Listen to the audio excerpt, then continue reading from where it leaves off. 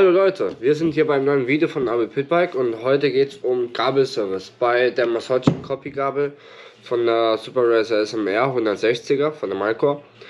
Ähm, 710er Länge und die werden wir mit härteren Federn verbauen und mit einer anderen Ölkammer, auch ein anderes Öl wie standardweise, weil der Fahrer halt ein paar Probleme hatte mit dem Setting, was standardweise schon da geliefert wird. Und ja, das heißt, ähm, ich zeige euch, wie es geht, wie man die Ölkammer misst, äh, Luftkammer, sorry, wie man die Federn tauscht und wie man halt einen Service an der Gabel für ein Pitbike macht. Ich hoffe, es gefällt euch dann am Ende und ja, let's go!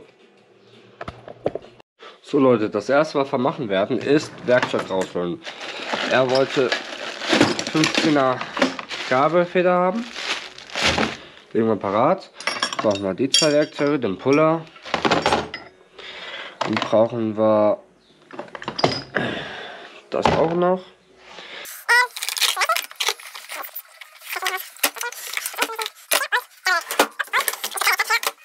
werde ich euch gleich zeigen. Da brauchen wir, müssen wir was klein schleifen. So, und zwar das Öl kann gleich hier rein.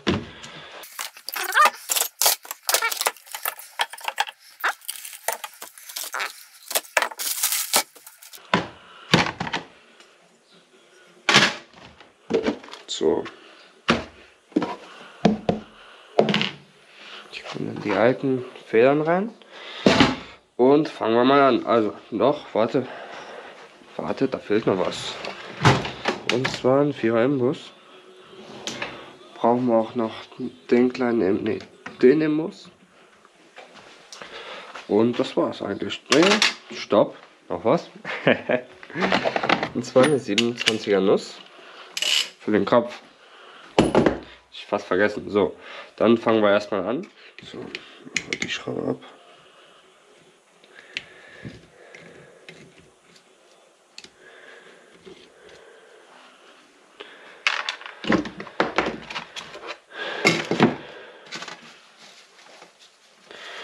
So, und jetzt fangen wir mit der Gabel an sich an.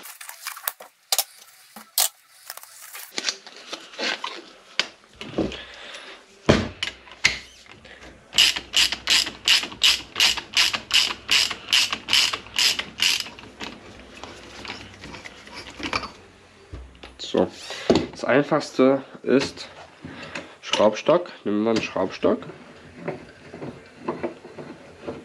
Wichtig ist, dass wir Alu oder Nylon Teile haben, dass die Kabel nicht vermackt wird, aber trotzdem nehmen wir einfach ein Stück Lappen, binden das hier kurz so ein bisschen drum. So, machen wir es rein.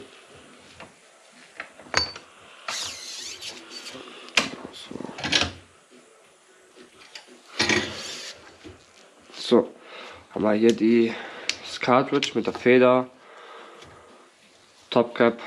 Das heißt, wir nehmen diesen 14er Schlüssel, ziehen Feder runter. Und machen es hier dran. So, nehmen wir den 17er, habe ich ein bisschen falsch gemacht, aber naja, machen den Kopf ab eigentlich immer Loctite dran. Deswegen das so schwer. Habe ich mir vorgestellt. Mit dieser Art ist das viel einfacher nachher, um die ähm, um die Feder einzubauen.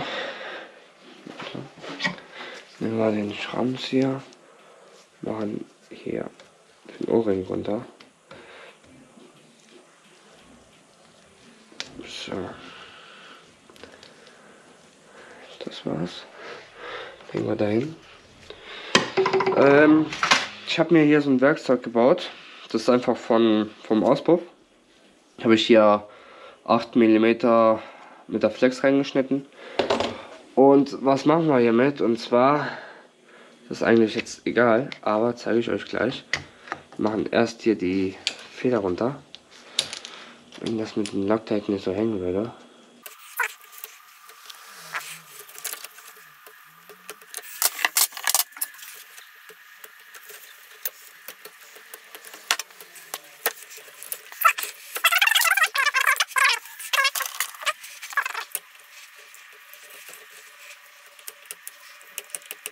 Muss es eigentlich gehen.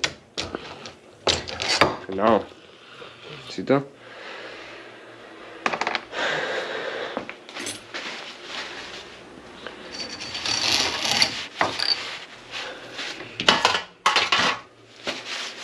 So, und jetzt haben wir nur noch das Cartridge hier drin.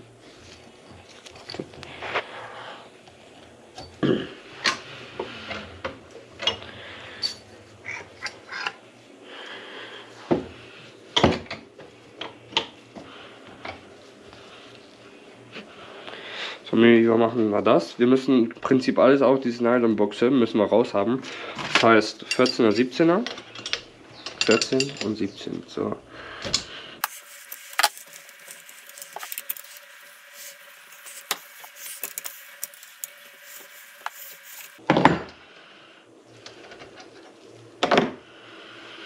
So. Jetzt wir das auch raus. Zwar guck mal, wie viel Loctite hier drin ist. Muss gar nicht so viel.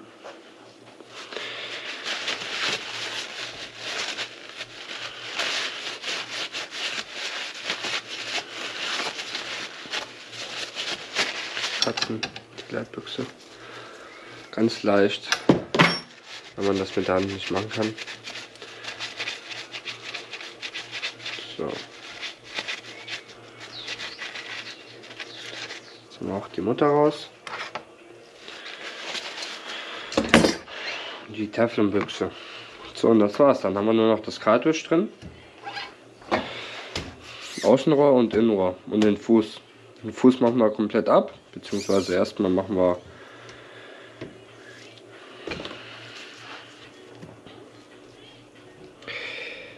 Staubkappe runter. Und dann gleich danach machen wir die Sicherung raus. Okay. So, fertig.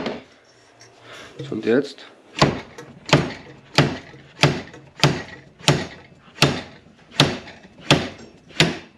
So, haben wir alles draußen. Ups, da kommt raus. Mal hier hin.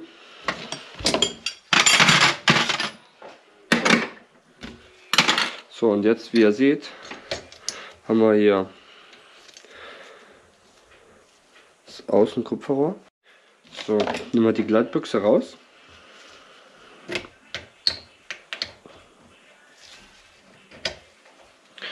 Einmal nehmen wir die Außenbuchse raus. Trennscheibe und den Simmering.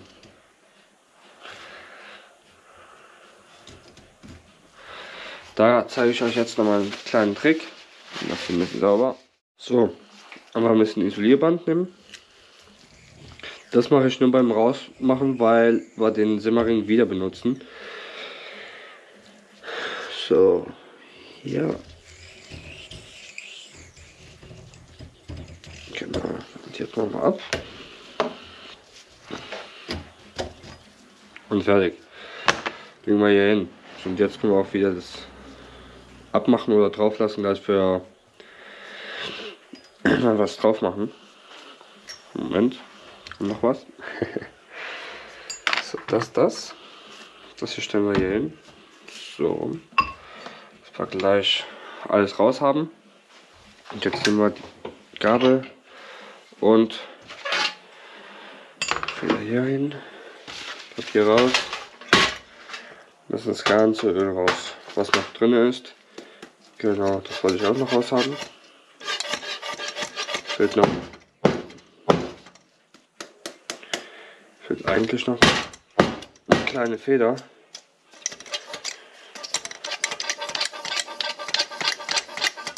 Da ist er. So.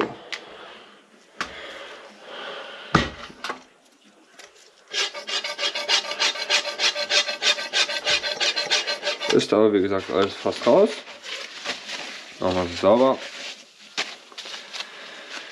Machen wir gleich noch anstatt ein Kabelbinder machen wir einen Ohrring dran.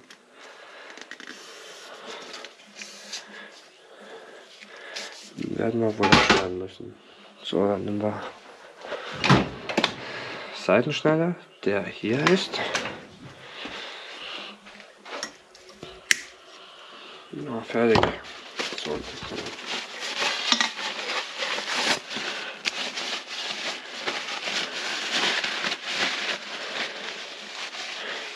So und Federn.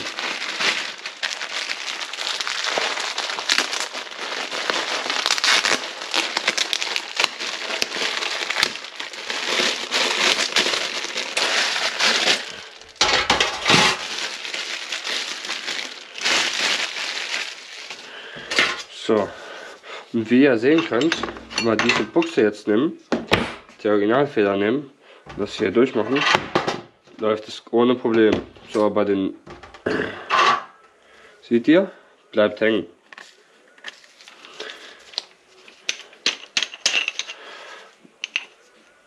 Geht da nicht mehr rein. Das heißt, wir müssen sie hier ein bisschen dünner machen bei der Feder. Hier müssten wir zum Beispiel wenn wir die Feder jetzt für die Gabel nehmen, passt es fast durch. Müssen halt nur ein bisschen oder halt hier den Grad abmachen. Genau. Das machen wir. So, und wie, wie machen wir das? Und zwar, hier ist ein kleiner Grad. Nehmen wir uns eine Pfeile, die rund ist. Und dann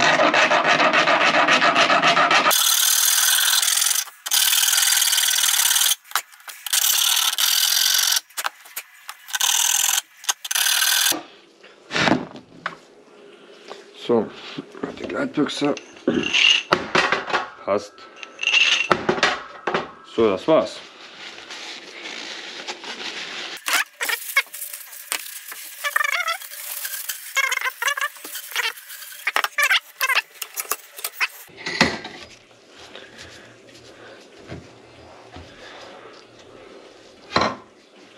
Stück Papier.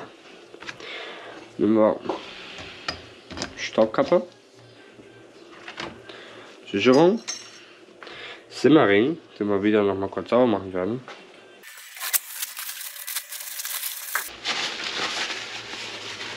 Nicht nur sauber machen, sondern.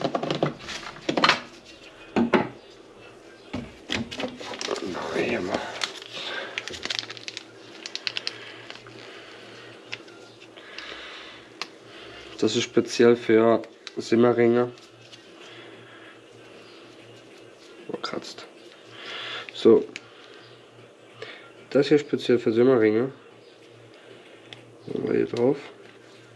Wenn ihr diese Spezialcreme nicht habt, oder Fett, könnt ihr auch Silikonspray nehmen.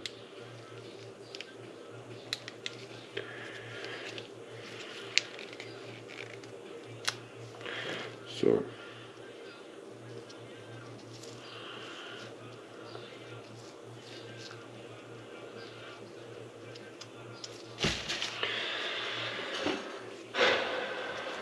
jetzt wieder drauf. Fertig. Dann nehmen wir diesen Tanzstück.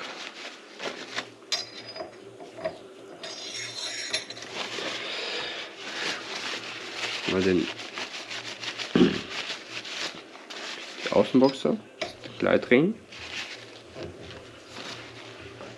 Moment. Passt jetzt nicht wegen dem Isolierband. Fertig.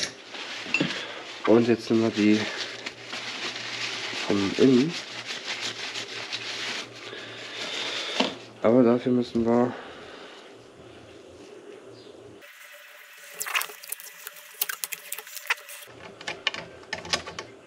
ein bisschen auf und dran fertig.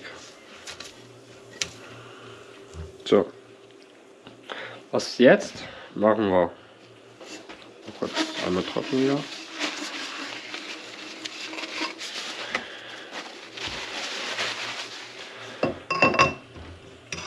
Flip rein. So, jetzt Nehmen wir die Gabel raus. Machen wir ein bisschen Platz. Ja, genau, so. Das heißt Gleitbüchse rein, Simmer, Distanzstück und Simmerring. So, machen wir hier hin, dass nicht runterrutscht. So, dann nehmen wir hier unser Spezialwerkzeug für Simmeringe.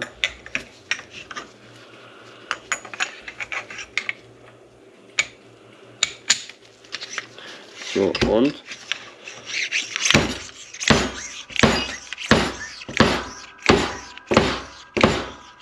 so fertig.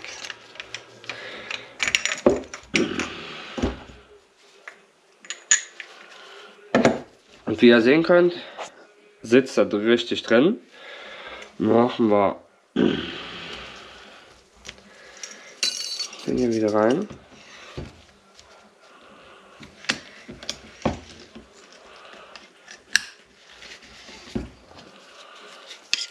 Den rein, bis er Klick macht. Klick, Klick. Hinten auch Klick und fertig. So, jetzt können wir auch den Staubkappe wieder dran machen und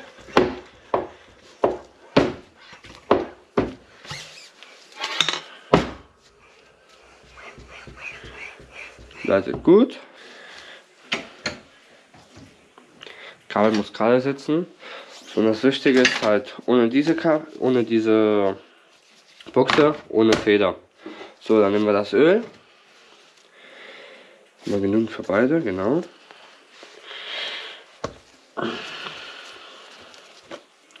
So, und wir füllen ein.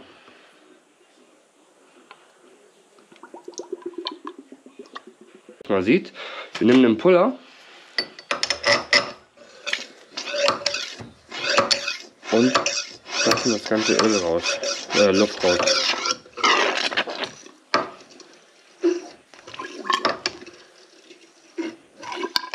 Schon entlüftet, beziehungsweise das Cartridge.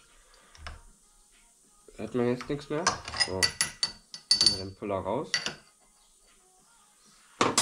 So, und gucken ungefähr wie viel Öl, da fehlt noch ein bisschen. So. Jetzt machen wir ein bisschen mehr rein. Jetzt nehmen wir die Spritze, stellen hier 185 ein, ist sogar schon eingestellt. So, und dann ziehen wir das Öl raus.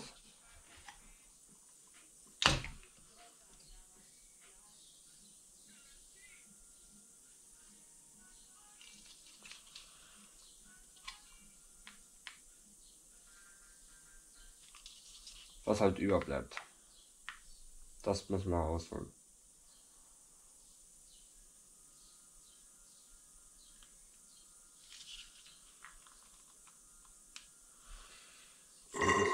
Genau so. Das nehmen wir, füllen wieder zurück.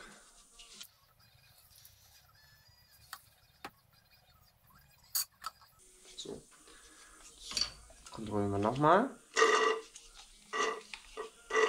Alles, alles raus. So, damit haben wir jetzt eine 185er Luftkammer.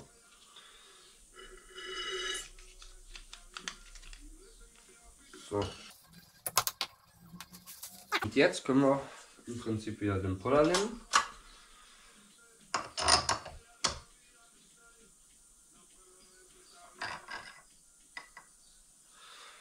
Das erste, was wir machen, ist kleine Feder mit der Buchse wieder rein. Wir den langen Stab, machen wir gleich rein. Was wir jetzt zuerst machen ist die Teflon-Buchse mit der langen Seite nach oben. Mit der langen Seite. Jetzt machen wir die Mutter drauf.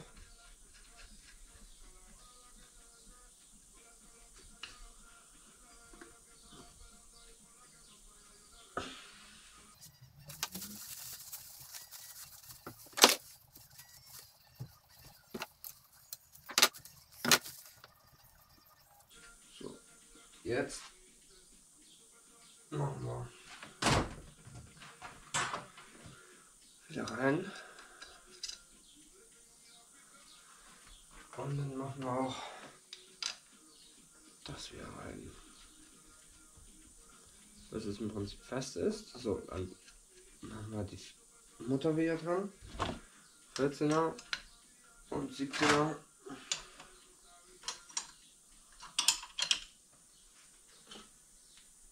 Fertig. So, festgemacht. Nehmen wir das die alte Feder. Machen wir drauf.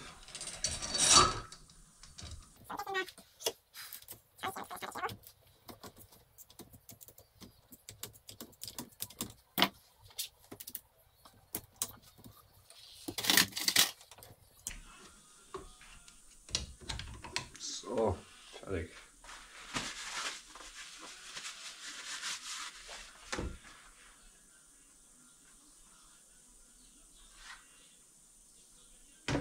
Ja. So, jetzt schon die härtere Feder verbaut. Das Einzige, was wir jetzt noch machen müssen, ist wieder den Ohrring drauf machen.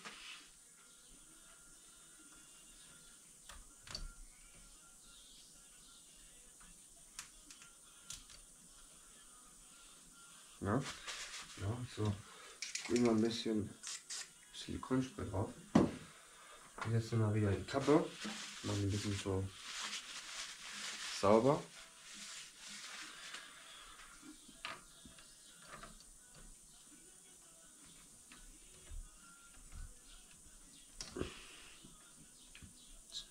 Problem und zwar, ihr müsst den Versteller hier einstellen, dass im Prinzip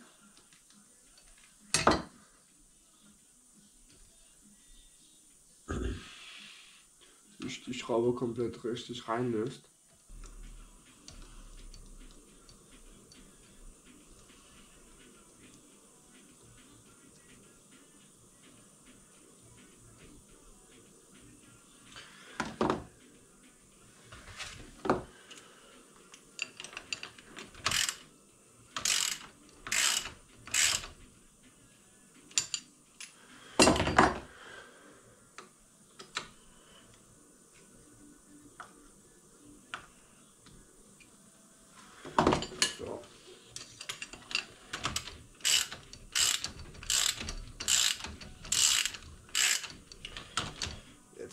Festmachen.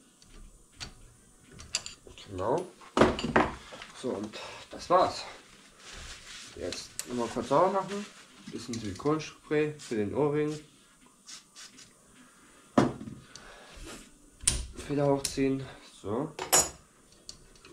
Und hoch zu machen.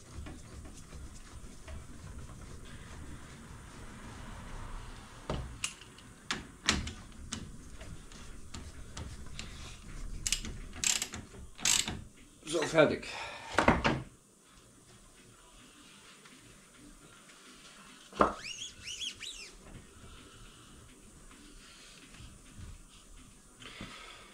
So Leute, und das war's. Ich hoffe, es hat euch gefallen, wie man eine Gabel zubereitet. Und ja, wir sehen uns beim nächsten Video. Ciao.